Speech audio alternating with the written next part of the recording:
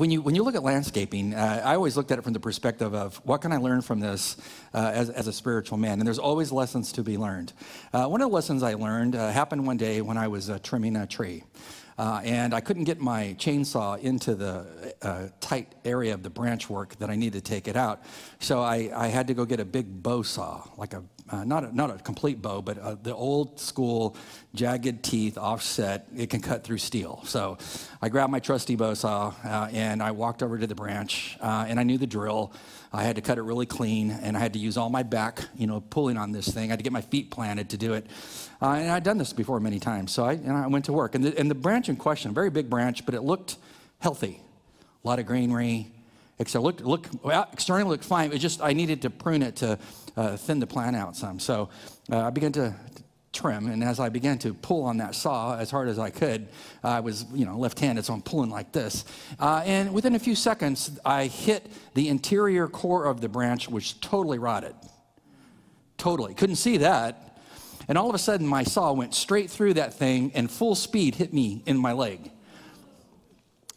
It was painful to the point where I couldn't speak. Ever had pain like that? Just took your breath away?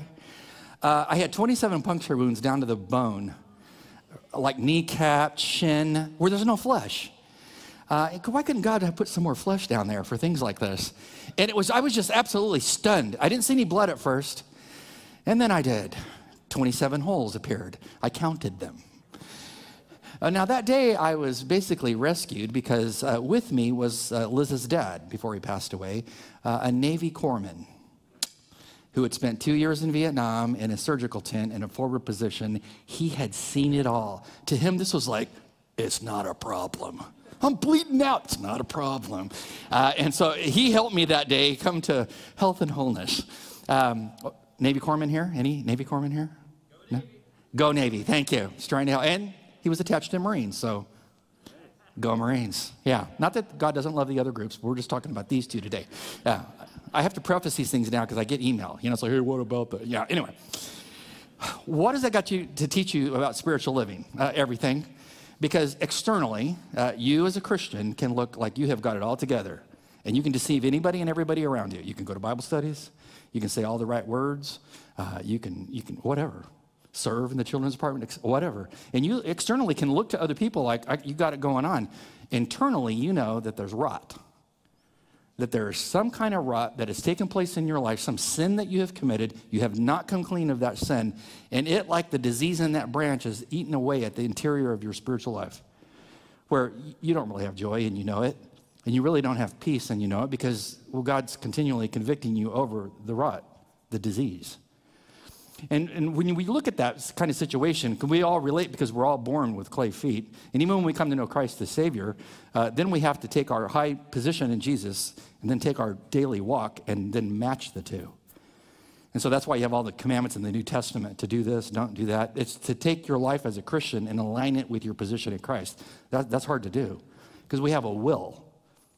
What happens when your willful sin gets in the way and uh, you allow disease into your life and that disease is not uh, confessed, that sin, and you compromise your spiritual walk? Uh, this is uh, the story of David's life. Like what happens when this happens? When you compromise your spiritual walk. Because Psalm 51 is about his compromise. If you read uh, the psalm and you read the header in it, which is not a verse in the English text, but it's verse 1 in the Hebrew text, what does it tell you about the historical setting of this book? It says this particular song uh, was written uh, when the prophet Nathan came to, to David after he had gone into Bathsheba. See, this man with a heart after God, who truly loved God and followed hard after him, wrote many of our Psalms, compromised on one thing, and it was called what? Lust. Lust led to adultery, adultery led to lying, lying led to murder, etc the disease in his life, compromised his life. And so Psalm 51 is about uh, David's uh, agonizing path back to a place of great peace with God, which is when you sin willfully against God and you don't confess it, he starts working overtime on you, as you know, because he loves you. When you have a situation like that in your life right now, and I don't even have to tell you, the Spirit's already told you, he's already got his finger on it, he's already told you, you know about that? Uh, that needs to be dealt with before the cross of Christ as a, as a child of God. But as we get into what David uh, is going to teach us here about this, I want to tell you three things up front. Number one, if that's a description of your life, like the branch, outwardly you look great, inwardly you know there's compromise, there's disease there. Uh, three things. Number one, don't lose hope. Don't lose hope. Why? Because uh, your heavenly Father is a loving, gracious, merciful. He's holy, but he's loving. Uh, and he always stands ready to put you from the road of your personal ruin to restoration. He's always there. He loves you. Number two, uh, understand that despite what the raspy voice of the devil says in your ear, uh, there's no sin greater than his grace. Did you hear me? The devil will come to you. And I know his raspy voice because I've heard it. You know what I'm talking about? You're nothing. Look what you did. There's no recovery from this. Wait till people find out. See, this is not the voice of the Spirit. So when that little raspy voice comes to you because of your sin, you realize that, that no matter what that sin is, there's the grace greater for that. You just have to avail yourself of the grace. There's an old hymn written back in the mid 1800s by a lady named Julia Johnson. Uh, great words about God's grace. Marvelous grace of our loving Lord. Grace that exceeds our sin and our guilt. Yonder on Calvary's Mount outpoured, there, that's where the blood of the Lamb was spilt. I love the refrain Grace, grace, God's grace. Grace that will pardon and cleanse within. Grace, grace, God's grace. Grace that is greater than all of our sin. So don't listen to the devil.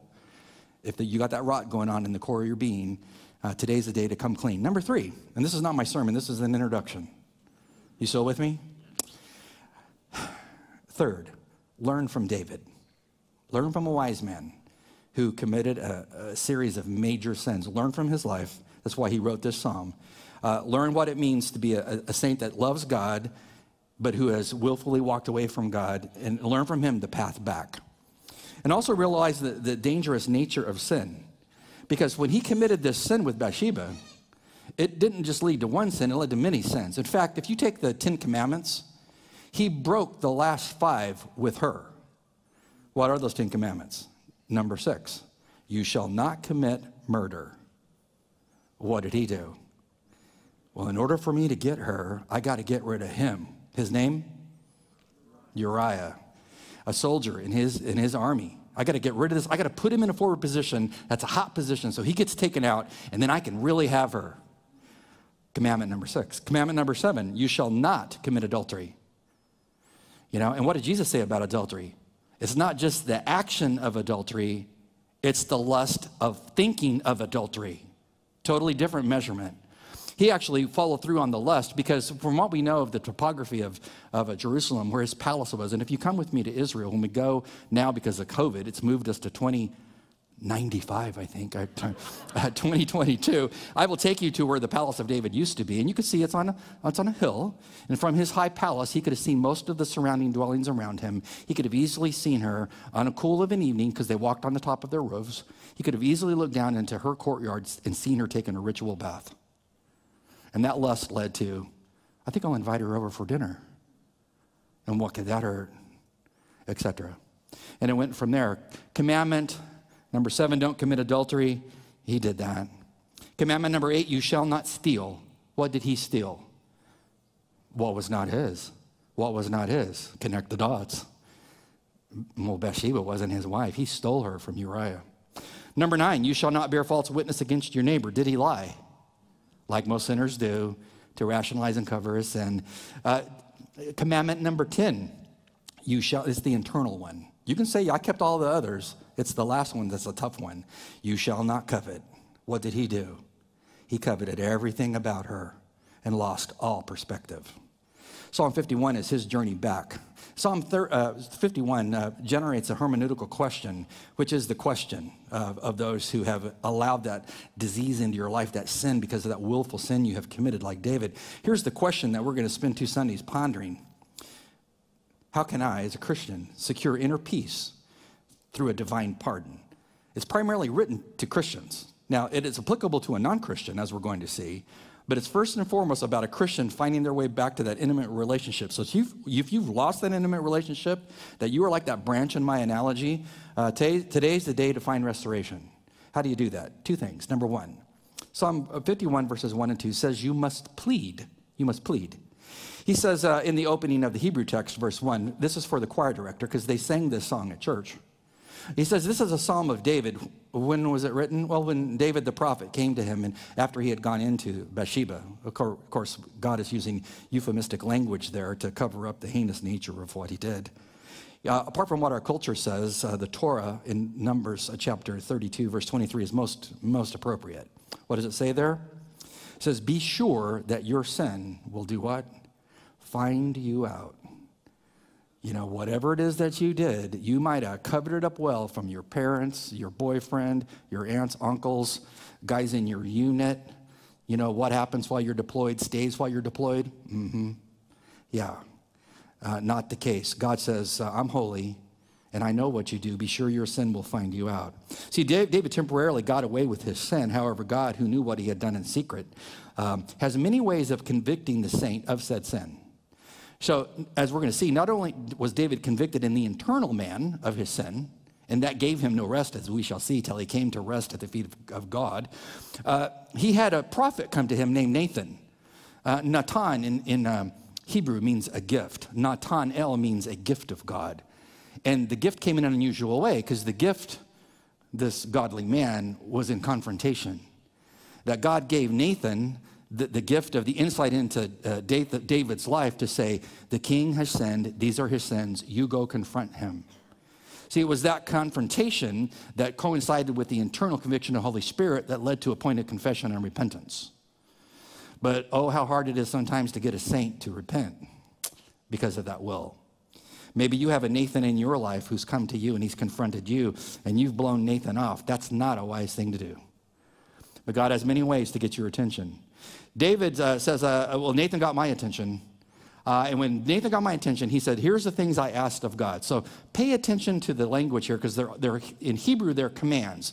But they're a command from a lesser, David, a human, to God who's greater, God, the infinite one. What does he ask for? What's he say? God, I need you to be gracious to me. Oh God. What kind of grace? Well, the kind that's according to your loving kindness. We'll just stop right there. God, I, I, need you in my situation to be gracious to me. The Hebrew word means give me something I don't deserve. You're holy. I have sinned big time. I, am throwing myself all over your grace. I need your grace. Do, give this to me, which I don't deserve. And, he, and then he calls him many names of God. He calls him, Oh God, Oh Elohim. The very first word of God in the Old Testament is Elohim. Who's he? He's the creator. See, he looks at an interior sin that he has, he has committed that has led to other sins externally, and he says, You know, the help I need is from on high. It's from the Creator who made me. And I need you to reach down from heaven and do in my heart what I can't do for myself. I need grace. And he said, I need the kind of grace that's according to your loving kindness. Uh, loving kindness uh, in Hebrew, the word is chesed, and it means loyal love. And it's used all throughout the Old Testament. When people ever say, uh, you know, it doesn't, we don't see a loving God in the Old Testament, you have not read the Old Testament. Because chesed, God's loyal love, is everywhere. It's everywhere. What does this mean? He says, God, I need you to be gracious according to the loyalty that I know that you have for your people, your children.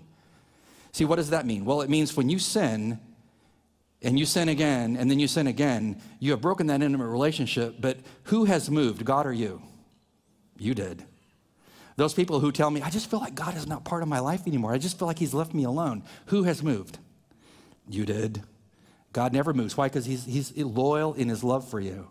So you can come to Him. So when you come back to God, your plea is God, I recognize your character is gracious. Be gracious to me, a sinner. I need that poured out on me, and I know you're loyal. Forgive me for being disloyal. So when you are disloyal, He's always loyal to take you back. What does He want from God? Notice the verbs. He wants uh, to denote these uh, verbs, most importantly, because this is the way back in your plea. He says, God, I want you to do, first thing, blot out my transgressions, blot them out. Wash me thoroughly from my iniquity. And third thing, cleanse me from my sin. Blot. What this means is uh, an ancient use of the Hebrew here. The word for blot re- refers to taking uh, a device in their day and blotting something out of a ledger. So David says, God, I know you're keeping track of my sinful activities. And by New Testament terminology, um, if you go to 1 Corinthians chapter 3, the Bema seat of Christ, the judgment seat of Christ, it's for believers. Heaven and hell is not in, in balance, uh, in question. What is in question when we stand before God as his children is how well did you serve me? I will reward you accordingly. How well did you serve me? That's 1 Corinthians 3. Read it. 2 Corinthians 5.10 also talks about it, as do assorted parables. He says, God, I know you're keeping track when, eh, to reward me one day for obedience or disobedience, but I have a whole boatload of it, disobedience. I need you to blot it out as if it's not there. Number two, he says, I need to wash, you need, to wash me thoroughly. Uh, it doesn't take a Hebrew scholar to figure out what that means. It's an ancient laundry term that denotes kneading. Uh, when I used to go to South Carolina uh, back in the 60s and 70s to see my dad's mom, my grandma, uh, and uh, you know, when you're a kid and you don't know your grandma's poor, I didn't know she was poor until I was in my 20s and went back uh, there um, to see her one last time before she died. But when I was a kid, I remember the washing machine out on the back porch, no electricity, and it was a crank, and it had one of those kneading racks. Remember those? If you remember those, you're old like me. If you don't, you're like, what is this guy talking about? It's like over my head. Uh, well, it was, a, it was before the electricity for those. And it took my grandma with uh, 10 daughters and one son and a husband a lot of work to wash all those clothes. Imagine a stain on clothing. What do you want to happen in our day and age? You reach up for your trusty little sprays, don't you? I do when I help Liz. And sometimes it takes a couple of different ones, doesn't it? I'm spraying this, a little bit of this. I got this out. I got this at Home Depot. It's on my shop. Went and grabbed that. I've actually done this, smeared that on there. Yeah, I got some. Yeah, there's some stuff I found that really works good. My wife freaked out and it worked. Um, and no holes. But anyway, back to my sermon. You want to get the spot, spot out, don't you? When you have compromised at the most intimate level with God and you know it because the Spirit's telling you right now, what do you want? Blot that sin out as if it never was and wash this stain from my life, from what I've done. Third, what does he want? Well, the third one uh, uh refers to the uh, process of smelting. Cleanse me from my sin. What, what, he's saying is, God, my life used to be a precious, beautiful thing as a, a wonderful metal before you, wonderful but then I encumbered it with all of this dross. And try as I may, I, I can't get rid of the dross. It just keeps multiplying. Would you please just drop me into your smelter and just burn all that stuff out of there? So he says, God, if the blotting doesn't work, then, then please move, move to the laundry and, and wash me clean. How much of me does he want washed? All of me. It's contaminated, all of me. And if that doesn't work, God, then drop me into the discipline uh, of whatever it's going to take to just burn this dross out of my life so I'm free from this sin. That's what the, the child of God wants freedom from that. He says, Let me get real about my sin. He, he looks at his sin from three perspectives. He uses three different Hebrew words. He says, uh, uh, You know, blot out my transgressions. Pesha in Hebrew is the word for open rebellion. Do you have a child? No children here? Were you a child? Whenever does someone raise a child and they always do exactly what they're supposed to, do, right? Did you do exactly what your parents said? Because whenever they gave the great, your, say your dad was Moses and he gave the dictate, whatever it was, did you always do it exactly? Uh, no, well, no. My parents told me after being in my last church for almost 20 years, they told me one day, we learned more about you as our son from your sermons than we ever knew. Because I used myself in sermons. And after service, my dad would go, you, you did that? Mm-hmm. Yeah. Yeah, it's called Open Rebellion. Uh, when I was in junior high, we always went to this church camp uh, in the mountains outside of San Diego, and I loved this church camp. I think it was called Two Lakes at the time. It was a big dam and a, and a big lake there. We, it was awesome. And so for, you know, my upbringing, we go to this camp in elementary school and junior high, and we, we knew this camp well. So my best friend, Donnie Sundstrom, who eventually went to work for the CIA during the Cold War, uh, we were buds. His dad uh, uh, was the manager of the Kenworth plant in Mexicali, Mexico. Great family, godly family. Went to church together. Donna and I were always like pushing the edge. So we went to the church camp. It's our eighth grade year. It's, it's like the final time. And we knew all the hillsides very well from all of our exploring and free time. And we knew where the perimeter fence was. Miles out there was a barbed wire fence. And on it, we knew there was a sign. And that sign said, no trespassing. And so we figured, okay, this, this time we are going to the outer perimeter at free time. We're coming to that fence. We've never been over there before, where all that mesquite is. No telling what's over there. Let's go do it. So we went over there at free time, hiked way out there off into the mountains, got to that fence, moved the barbed wire, snuck through, started walking through the mesquite, came to a clearing. Yeah, there was a bull. And I'm not, I'm not lying. There was a bull, a large bull like probably over 100 pounds, like maybe 2,000 pounds, snorting, standing off at the distance of this clearing. Donnie's in red. He's doing the Christian thing. No, I turn around, I see this bull, I freeze. Donnie didn't. He was, he was a track star. He was gone. He and he, whenever we played dodgeball as kids, I mean, you could never hit him. He's like a ghost. He was so nimble, double jointed, it could miss all your best shots. He cleared that barbed wire fence like there was no fence. And I'm like, I got my Keds on. Remember Keds? Those increased your speed like by about 10 miles an hour. I had Keds on. Those things, I was burning up that field, running for that fence. I, I dove over that fence, just like he, Donnie did. And we took off running. I don't even know what happened to the bull. What did the sign say? No Thank you. No trespassing. What does the law say? If it says no trespassing, it's probably there for a reason. You should not do that. It's like at SeaWorld down in Florida, there's a sign next to the dolphin pool which says, Do not put your hair, finger in the dolphin's air hole. Why? Because someone's done that. See? Obey the law. Obey the law. I, I, know from experience what Pesha is all about. It's open rebellion. He, got, he says, God, you, you need to blot this out of me. Number two, I need you to deal with my iniquity. This, is, this means distortion.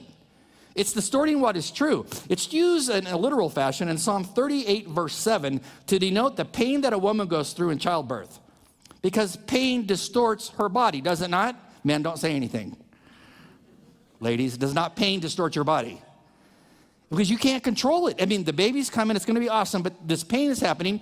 And he says, God, my sin is, is kind of like that. It's a total distortion of who I want to be.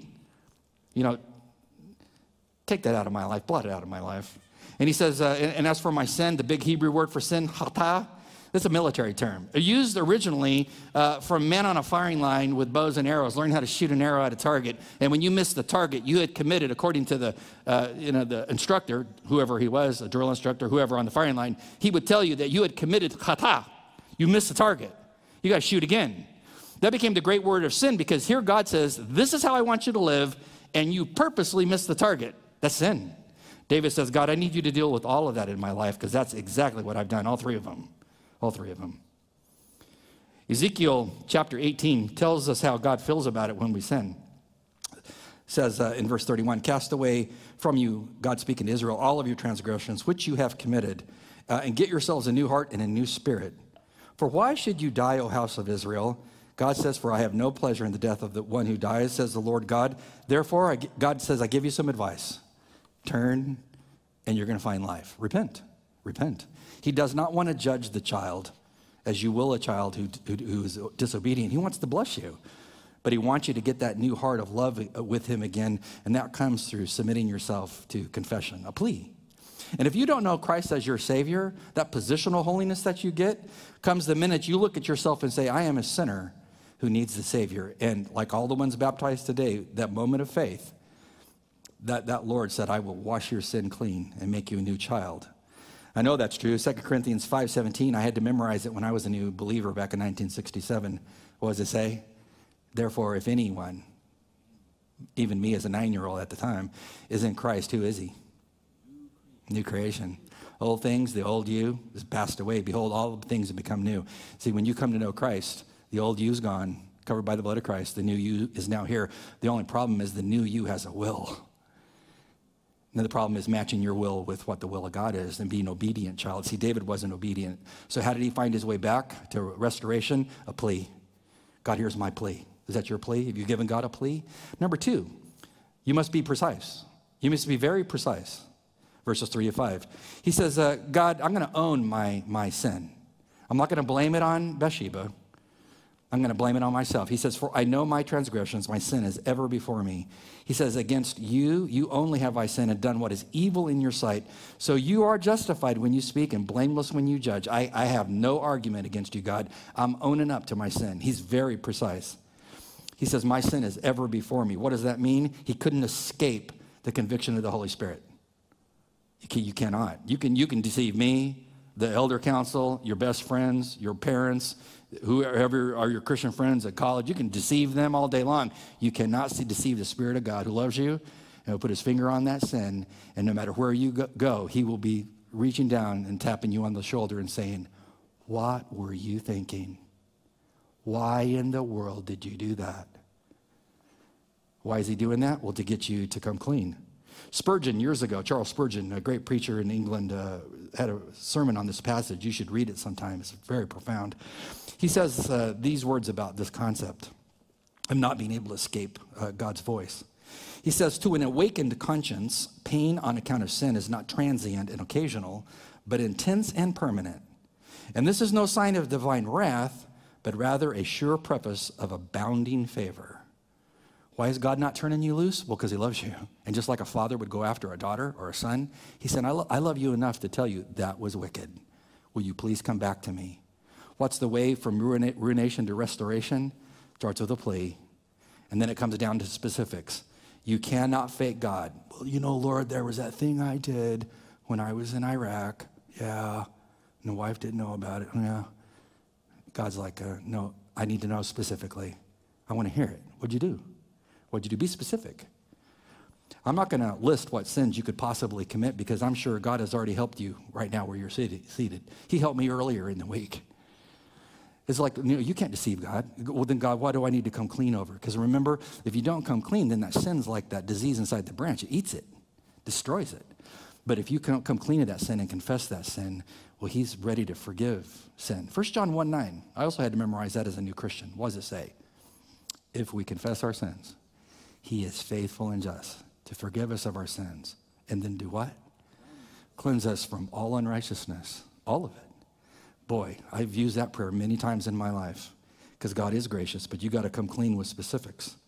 David says, uh, God, let me get real with you and explain to you that I really understand like where my sin came from. He says, verse 5, Behold, I was brought forth in iniquity, and in sin my mother conceived me. He said, I can't look at like my culture does on my world to say, well, you're just a product of your environment and it's not your problem and etc. No, he says, no, no, no, no, no. I realize that my sin problem started when my parents conceived me. And just as a side note, this is why I'm pro-life. Why? At the moment of conception, God sees him as an individual man he made who is a sinner who needs a savior. That's a whole other sermon series. But he says, God, I, I realize my sin problem started there. If you don't understand that, just go back and read the story of Adam and Eve in the garden.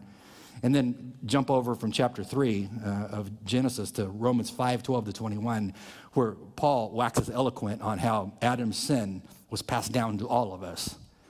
That that first Adam blew it, but the second Adam, Jesus, did a greater work because he came and was sinless and then went to the cross for our sin. David says, Lord, Lord, I understand that my whole being is permeated with sin. That's why I need you to reach down as the creator God and cleanse me and help me. I need help. Maybe that's your prayer today.